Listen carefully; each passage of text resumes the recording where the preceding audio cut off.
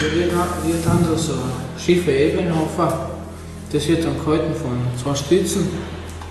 Und dann kommt, kommt da so ein Loch, dann stellen wir da so eine Kugel auf und dann kommt da die nächste Ochergröte und stoßt das an und dann fällt es da rein.